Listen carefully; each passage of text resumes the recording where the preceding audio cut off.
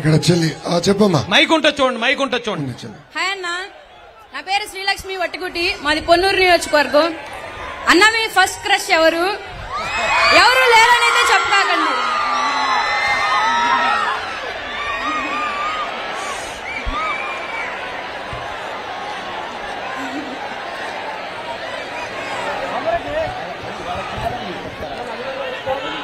చెల్లి ఇప్పుడు ముద్దల మావయ్యతో యుద్ధం ప్రాక్టీస్ చేసింది నా తరపున.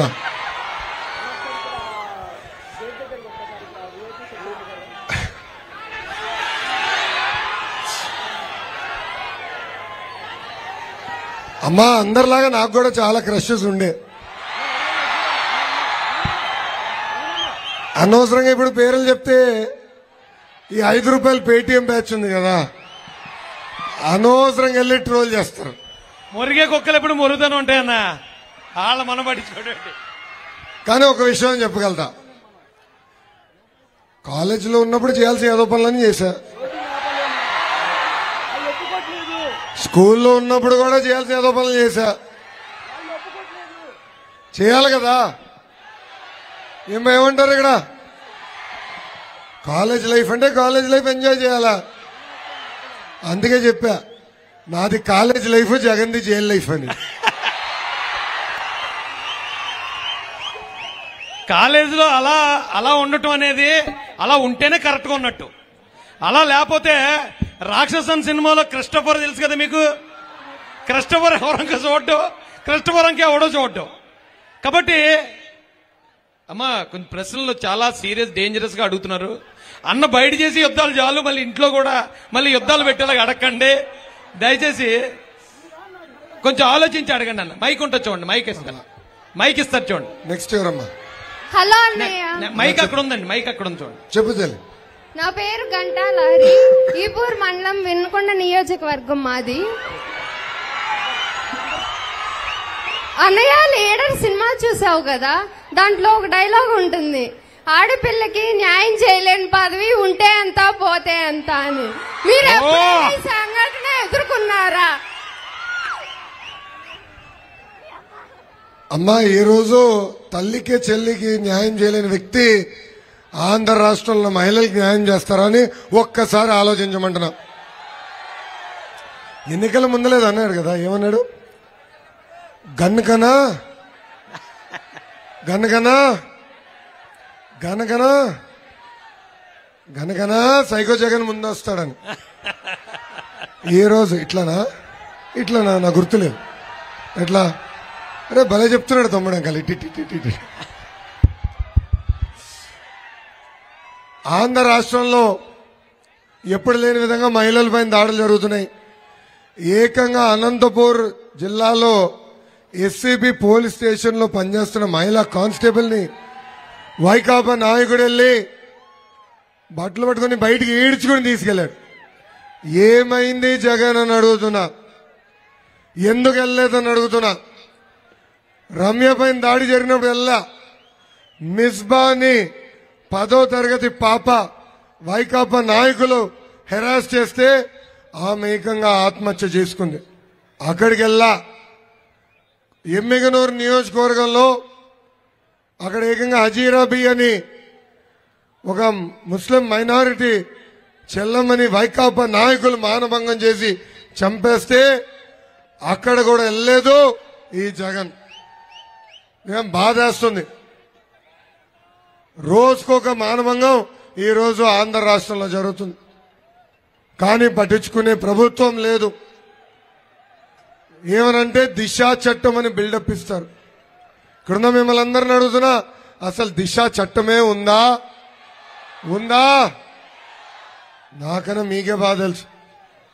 ఉన్న నిర్భయ చట్టం కింద కేసులు బుక్ చేయకుండా లేని దిశ చట్టం ద్వారా కేసులు బుక్ చేస్తే ఈరోజు ఎవరైతే హత్య చేశారో మానభంగాలు చేశారో లేదంటే మహిళలను ఇబ్బంది పెట్టారో వాళ్ళకి ఇమ్మీడియట్గా బెయిల్ వచ్చి రోడ్ల పైన తిరిగే పరిస్థితి. అందుకే చెప్తున్నా రేపు అధికారంలోకి వచ్చేది చంద్రబాబు నాయుడు గారే. బాబు గారిని చూస్తే రౌడీలు ఇలాంటి ఫోర్ ట్వంటీలు సొంత బాబాయిని చంపినోళ్ళు అందరూ భయపడతారు.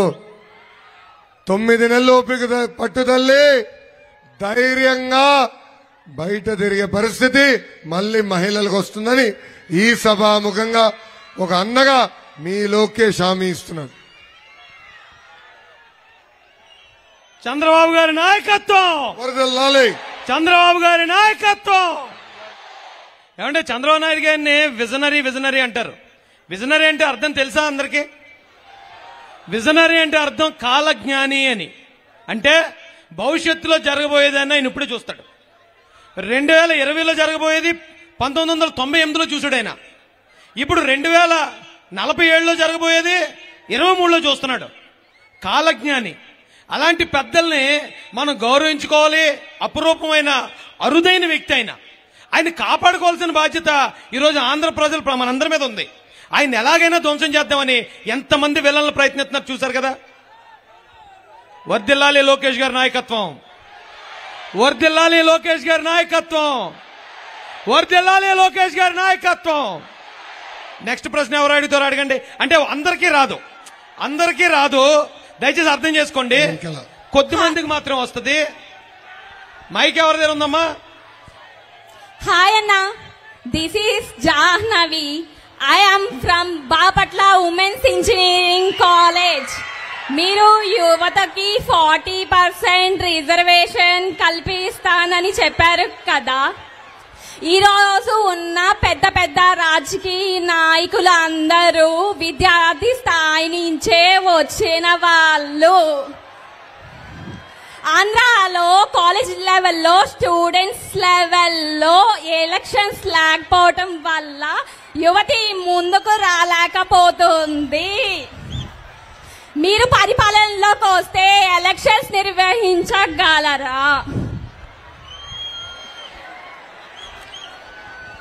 అమ్మా చాలా స్పష్టంగా చంద్రబాబు నాయుడు గారు ఈసారి శాసనసభ అదేవిధంగా పార్లమెంట్ ఎన్నికల్లో నలభై నలభై శాతం స్థానాలు యువతకి కల్పిస్తానని హామీ ఇచ్చారు.